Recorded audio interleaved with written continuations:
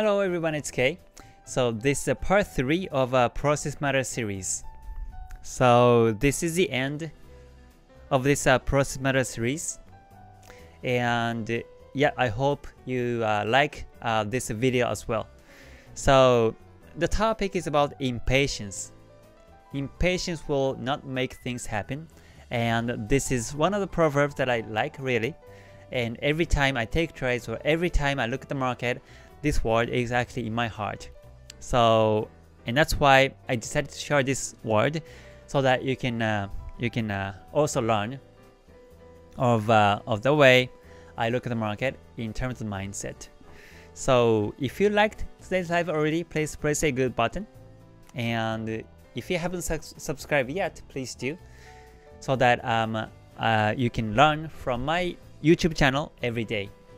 So every day I do these live streams, but today, this and today, yesterday, and the day before yesterday, has been recording videos because I'm um, I'm outside of Tokyo, but I decided to record these videos because at least um, you can learn something from my YouTube channel every day. So let's talk about the impatience, which is quite interesting and very important topic for any traders. So before starting, as a disclaimer, this knowledge is based on my experience, so when you take trades, please do within risk. So this word, impatience will not make things happen, is actually said by this um, Takamori Saigo. And um, yeah, he says this. He says, impatience will not make things happen, but patience will make things happen. So he talks about the importance of the patience. So just a little bit touch of this um, Saigo, Mr. Ta Saigo Takamori. Um, if you can Google it, uh, you can find all this information. Uh, basically, he was actually born in 18 mid 18s, and uh, he is considered to be uh, the the most influential samurai in Japanese history, and one of the three great nobles who led the Meiji Restoration. So he's basically considered to be a last samurai. You know, I, I feel if you've seen the video, uh, Last Samurai, that's actually him. He is one of the last samurais in this uh, in these ages. So, and he says this. He says, uh, "Impatience will not make things happen, but patience will make things happen." So you know, um, it's usually said that patience is the key. We have to be patient to the market. We have to be patient until we see a decent setup. But what is really patience mean? I think the definition of patience is slightly different among traders. And let me tell you about the definition of patience uh, for me. For me, the patience in trading is that the um, it is the attitude toward the market to to wait until we see a we create scenario. We see the scenario to the future. That's what i mean by patience. So and also in other words patience for me does not mean that wait for the signals. It's not the patient. Uh, it's the patient to look for the gold cross, dead cross. It's not the patient patience to look for to wait for these uh you know sanyaku signals or chikou span breakout or tenkan-sen, kijun-sen, gold cross, dead cross. It's not the patience. What I mean by patience is wait until you can create these trading scenarios. So what that means is that the uh, if um, if I can pull up this uh, real chart examples, um, let's take a look at this uh, Euro GBP, and this is a daily chart. So Euro GBP, uh, this is ranging, uh, Kumo flat and Kijun Sen flat right now. So it's been ranging right now. So in this case, the price can go up or the price can go down and we don't know which way it's going. So um, usually it said that the uh, if the price breaks the Kumo downwards, then this is going to be a one of the most significant signals to take a sell. It is said that usually, but um, actually that's not the case. That's not true. Um, I won't look for sell chance here after the Kumo breakout. Even if this is a decent Sanyaku Gyakuten signal, I won't take a sell because um, we never know if the market continue to go up, continue to go down this way or not. Um, let me give you some other good examples. Um, let's say, um, hold on, let's see, let me look for some other good setup. Or oh, maybe this one is the good one. Or hold on, let me see, let me take the daily.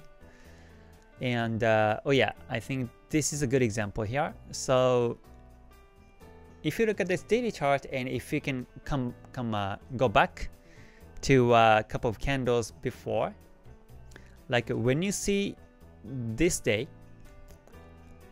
when you see market this day, then what would you think? Is a question. So there was a Tenkan-sen, Kijun-sen dead cross, and Chikou span breakout happens, and then the candle close actually went below the Kumo.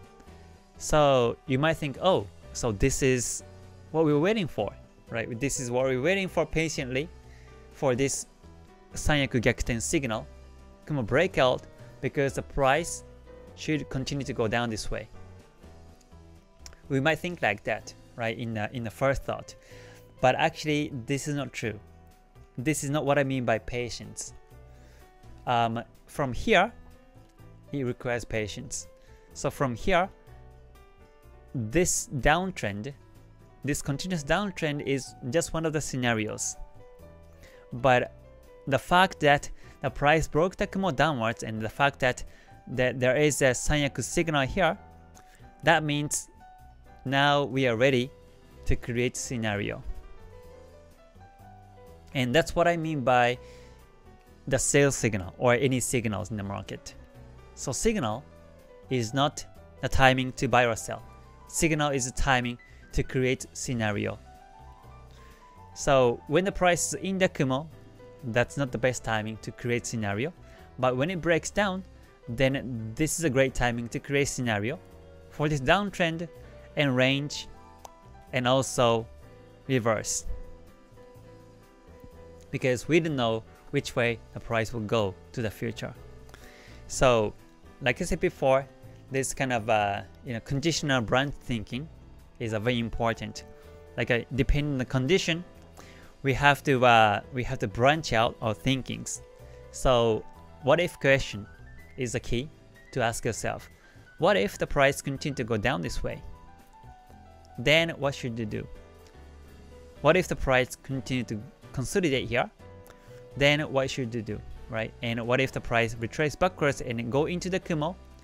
Then what should you do, right? So these are actually three scenarios that you want to create every time you look at the market. You cannot be sell biased just because the Kumo break the, you know, just because the price breaks the Kumo downwards. And that's not what uh, even Goichi Hosoda says.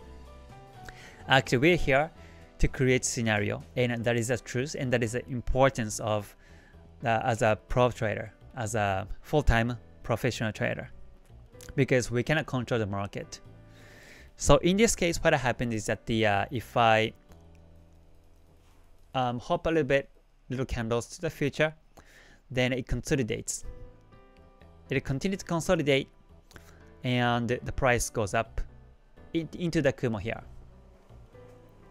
So you might get upset. Okay, so you might get upset by the fact that the price reaches backwards because you thought that, that the price goes down because there is a Kumo breakout. And afterwards, you think that, okay, so Kumo breakout doesn't work. So let's look for another, like a trading signals, right? You just go for other indicators or lines or signals to look for this holy grail. So once again, um, you know, we need to, so as I, as I said in the part 1 too, we need to look for the reasons of these wins and lo losses or break-evens, and these are important. But before that, or actually after that, after that, this scenario creation is also important. So, and you get upset, the price goes upwards because this was not the part of the scenario, right?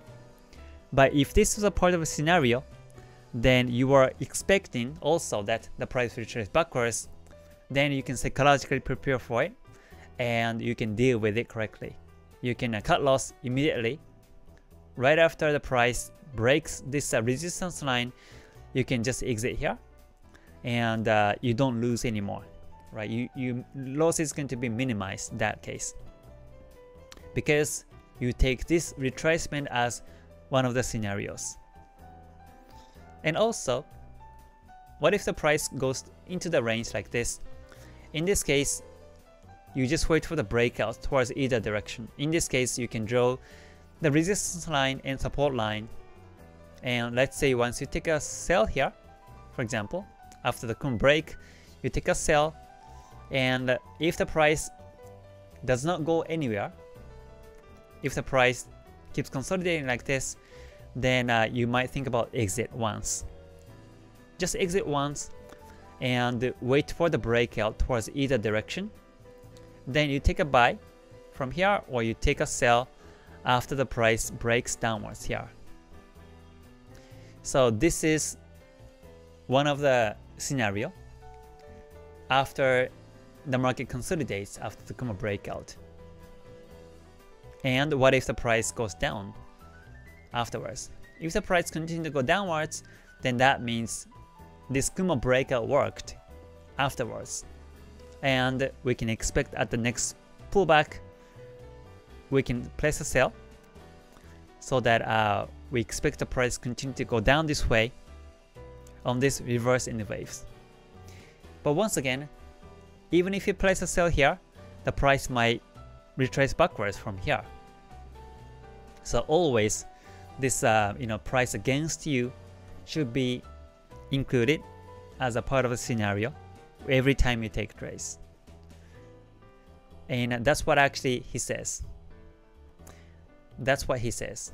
Impatience will not make things happen, but patience will make things happen. So when we when we become impatient to the market, meaning that if we don't create scenario and take trades impatiently, then uh, you know uh, things things are gonna, things are gonna happen. But if we become patient enough to create scenarios by yourself after we confirm these signals, if we can be patient enough to and take time to create these scenarios, then that will make things happen. And he doesn't say you can win that way. He just says that actually makes things happen.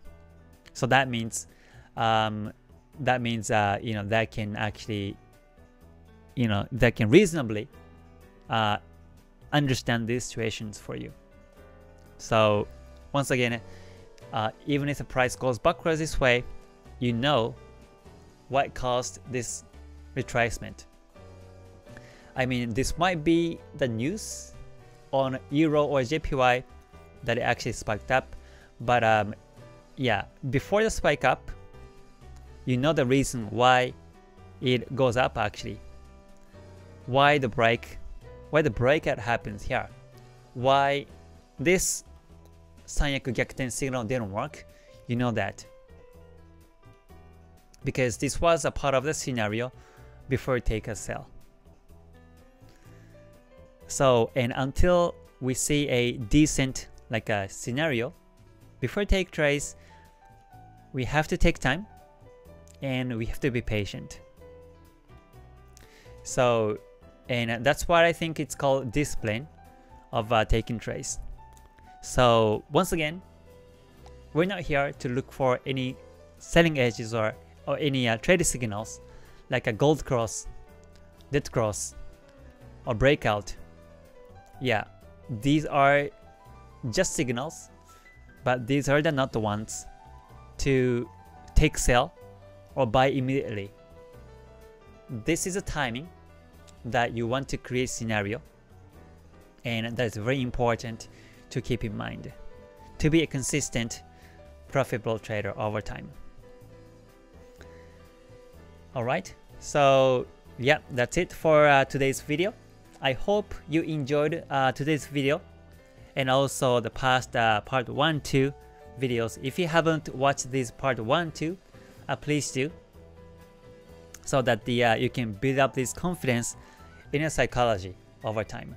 I think uh, you know usually we said that the uh, there are three pillars that are important in trading. One is strategy, one is mindset, and one is money management. Among these three, I think the most important is the uh, psychology, mental mindset, and the second important is the money management. And I think the least important is the strategy. So make sure to have the correct mindset towards the market first, and then make sure to have a decent money management skill, risk management, like a position sizing, or lot sizing, or risk management like stop loss or break even strategy. Make sure to master these first, and then you can move on to some strategies to apply. Okay, so yeah, that's it for today's video. Uh, if you liked today's video, please press a good button.